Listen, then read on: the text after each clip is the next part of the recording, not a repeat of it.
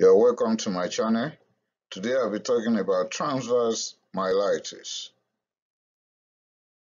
Transverse myelitis is a rare acquired inflammatory disease of the spinal cord. It is an acute and accelerated neuroimmune disorder that damages the myelin. The myelin is the insulating material covering the nerve cell fibers. When it comes to transverse myelitis, there will be an interruption or conduction of impulses through the spinal cord transverse section. The inflammatory process will cause swelling across both sides of one level or segment of the spinal cord. What are the possible causes of transverse myelitis? Could be idiopathic. That is unknown cause. When we don't know the cause, we give it another name known as idiopathic. Might be post-infectious complication or autoimmune process leading to this, or secondary transverse myelitis can exist. And under what condition can we have that? We'll know in a bit. Okay, secondary transverse myelitis could be secondary to systemic inflammation could be secondary to multifocal central nervous system disease or directly related to an infection. Now, immunopathogenesis of transverse myelitis. This is variable. We might find perivascular infiltration by monocytes and lymphocytes.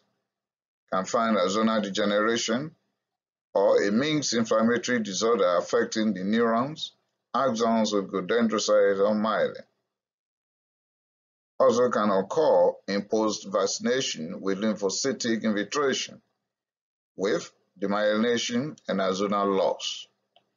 This association is very low, but it is a possibility, meaning post-vaccination transverse myelitis is low, but is possible.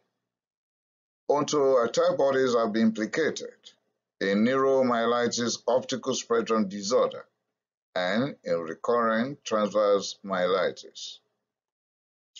Still on immunopathogenesis, idiopathic transverse myelitis is an autoimmune process complicating post-infectious conditions, meaning after an infectious condition has been treated, it could be complicated with an autoimmune process leading to transverse myelitis. Secondary transverse myelitis is directly associated with infection, systemic inflammation, or multifactorial central nervous system disease.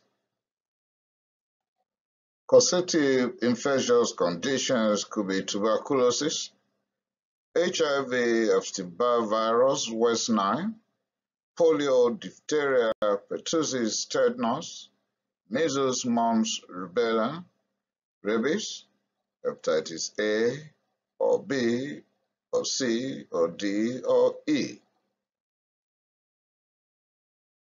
Some other agents could be parasites like tapeworm or pinworm, schistosomiasis, trypanosomiasis, or toxoplasmosis.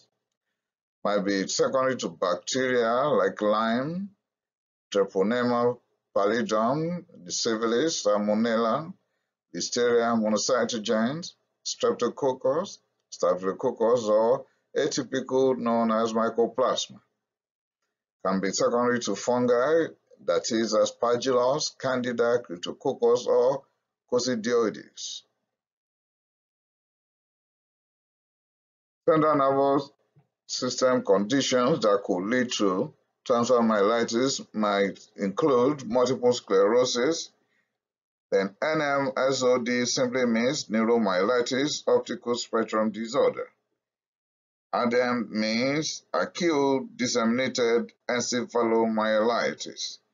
MOG simply means myelin oligodendrocyte glycoprotein. Autoimmune conditions that could lead to transverse myelitis include sarcoidosis, Sjögren's syndrome, systemic lupus erythematosus, ankylosing spondylitis, antiphospholipid antibody syndrome, Behçet's disease, rheumatoid arthritis, and systemic sclerosis. Actually, once you find one autoimmune condition, then you have to screen for the rest. Paraneoplastic syndrome can lead to transverse myelitis. And in that case, there will be paraneoplastic myelopathy from small cell lung cancer. Subtypes of transverse myelitis will include acute partial transverse myelitis, acute complete transverse myelitis, longitudinally extensive transverse myelitis, acute flaccid transverse myelitis with lower motor neuron lesion. Epidemiologically, transverse myelitis is rare. Yearly, occurrence will be in about 1 to 8 per 1 million. Male to female ratio is equal. But when it is about people with multiple sclerosis, more female with multiple sclerosis will come down with transverse myelitis than the male with multiple sclerosis. Still on epidemiology, a core that is 25% will have idiopathic cause, or there is unknown cause. 25% will be post-vaccination, while about 50% will be post-infection or post-illness. There are bimodal peaks. The first peak will be in ages 10 to 19, while the second peak will be at 30 to 39. The clinical features will include acute onset or acute in nature, could be subacute, with motor symptoms presenting with flaccid paralysis at onset or continuous flaccid paralysis when gray matter is you know, affected or spasticity when white matter is affected or paraparesis. Sensory symptoms include pain, coldness, burning sensation, paresthesia, and tingling. The sensitivity will increase to touch, to cold, to heat, or painful burning or prickling or aching sensation. And sometimes there will be sensation of a rub in the chest, the legs, or abdomen. In case of idiopathic transverse myelitis, 60% will have thoracic clinical sensory level symptoms. Autonomic symptoms will include urinary urgency, bladder incontinence, bowel incontinence, constipation, and the individual might be unable to void or sexual dysfunction. How can we make the precise diagnosis? The history will be suggestive, or you just develop a very high index of suspicion if there are now clinical features suggestive but no trauma, no spinal cord compression, it is acute or subacute, then you have motor and sensory symptoms. Then be suspicious. Then have full physical examination done. Now, there is a diagnostic criteria for transverse myelitis. The first question to ask ourselves is, is the spinal cord localized? I mean, is the lesion localized to the spinal cord? Or are we dealing with other related condition or conditions? Once we could establish the fact that this is a lesion that is localized to the spinal cord, that is one. Then we check for the sensory, motor, and autonomic symptoms. Okay, then the signs and symptoms that we're picking are they bilateral. They must be. And can we clearly define the sensory level so that we know the exact level of the spinal cord affected? And we must be sure there is no evidence of compressive cord lesion. And the trouble, the signs and symptoms should progress to plateau between 4 hours and 21 days. Then we'll add to lab Okay, to make definitive diagnosis, we head to lab, have lumbar puncture done, and then go with CSF. On getting there, we want to see the features of inflammation in the CSF, that is pleocytosis and increased IgG. Then we'll take part of the CSF for cytology, part for gram staining, part to rule out tuberculosis, venereal disease research lab for syphilis and fungi. Then, of course, part of the CSF for oligoclonal bands to rule out multiple sclerosis. We can have complete blood count done. Remember, we are talking about infection here, right? Okay, and then we have serum B12 ceruloplasmin, vitamin E, or methylmalonic acid acid.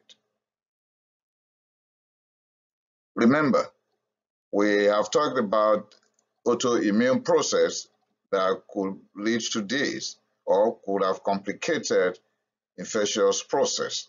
So ESR, antinuclear antibody, rheumatoid factor, C-reactive protein, SSA, SSB, antiphospholipid antibodies, and tumor markers.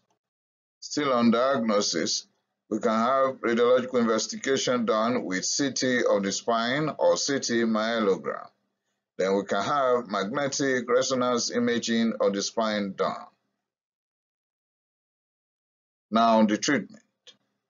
In acute phase, we can give steroid intravenously. If that is not working, then we can have plasma exchange therapy. We will give analgesics, right? We have to start with a very strong one like morphine, and we'll give that intravenously, then change to per oral.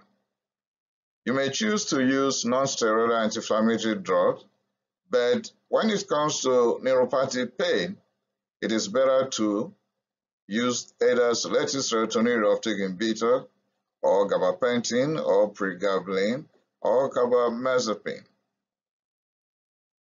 Still on treatment, have you identified any infectious condition? Treat appropriately. For example, highly active antiretroviral therapy for HIV, anti-TB medications for tuberculosis, talking of of pyrazinamide, ethambutol, isoniazid, rifampicin, or, and then pyridoxine to help with the side effects of INH. And the fungi agent for fungi and antibiotics might be empirically or due to microscopic control and sensitivity report. Still on treatment, we can give muscle relaxants in case of spasticity, antidepressant for neuropathic pain and also for depression. Constipation should be treated appropriately and we have to drain the bladder because some of them might not be able to pee. Disease modifying anti-rheumatic drugs in case of autoimmune condition. Still on treatment, ophthalmological intervention, increased duration of steroids, occupational therapy, physiotherapy, walking aids, wheelchair, and family support for the relatives. The long-term complications will be long-standing chronic pain or painful muscle spasm or spasticity. There might be stiffness and tiredness. Part of complications could include partial paralysis or complete paralysis. And men might suffer erectile dysfunction, and anyone with this condition may likely come down with depression or anxiety. Prognosis. Some will gain partial recovery within three months. Recovery is better if underlying pathology is treated. One third, we have no serious issues again. One third, we have no ability to move around with ease. One third, we have complete paralysis, while some will actually commit suicide. With that, I've come to the end of this presentation. Transverse myelitis is a serious condition and anyone affected needs the help. So, family support, counseling for family members will be helping them. The next presentation will be on differential diagnosis of transverse myelitis, meaning if it is not transverse myelitis, what else could present like this? Thanks for listening. Remember to share this presentation. Remember to subscribe to my channel. I appreciate it.